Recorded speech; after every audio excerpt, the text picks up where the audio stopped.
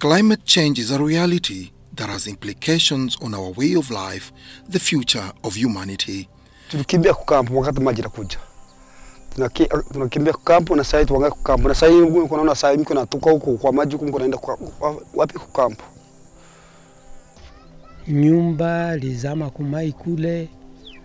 Tena mimi nilikuwa mwenye kushona nguo, mashini yangu yote, kila kitu yangu yote lizama kumai, miko tumie ile tu. Humanity is faced with critical choices panic, remain passive, or take decisive action to address challenges. The people of Africa and people everywhere need action to respond to deadly climate extremes. First, we need far greater climate ambition, with countries hitting fast forward and massively accelerating action to limit temperature rises and impacts. Uganda and the global community have pathways available to confront climate change. Energy transition is frequently indicated as a key solution. This transition compels assessment of the energy we utilize in daily life, how we produce, consume, and sustain ourselves. lives. What kind of energies are we using to go about these activities? It's that some of these energies come from non renewable sources, and that some of these non renewable sources then have a serious effect There is an urgent call, particularly from countries in the global north, for a swift transition away from fossil fuels to mitigate its hazardous impacts. This demand is often perceived as unjust by nations in the global south, which contributes only about 3% to global warming. You realize we're talking to a region in East Africa that produces less than 0.2% greenhouse gas emission. Less than 0.2% in East Africa. How would you tell this region to decarbonize? It's like telling the fat kid in class to lose, uh, the skinny kid in class to lose weight while the fat kids keep eating.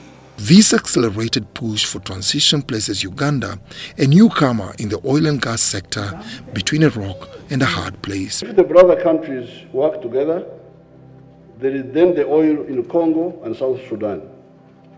This pipeline could turn out to be a very important project that may serve the region, not only in the short term, but also in the medium, if not the long term. Apart from socio-economic benefits, the project will also stimulate trade, investment, as well as unlocking the East Africa's oil potential, thus attracting more investors. And I've been telling everybody that Africa is not poor. We just lack some finances. But we are not poor. Uganda is not poor.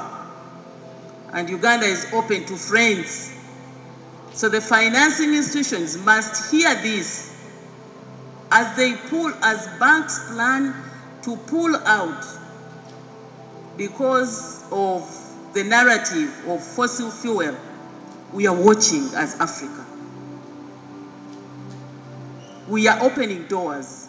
Since the discovery of commercially viable oil in 2006 and the subsequent launch of Uganda's oil project, the initiative has undergone thorough environmental and social impact assessments, all of which has affirmed its compliance with the necessary standards. We've been able to benchmark and we've been able to make corrections from the mistakes that other countries have done.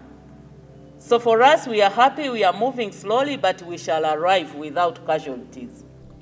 Moreover, the Ugandan government has clear plans for energy transition. We will optimize and use all our renewable energy resources.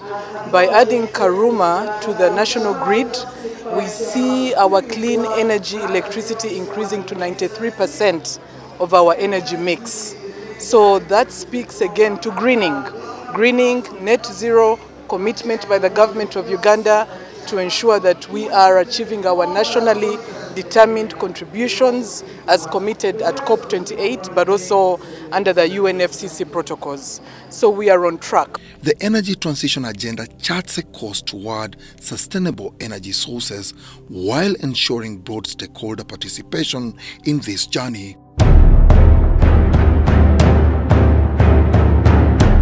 Join us tomorrow for the second part of this comprehensive energy transition feature. Dennis Igoa for UBC News,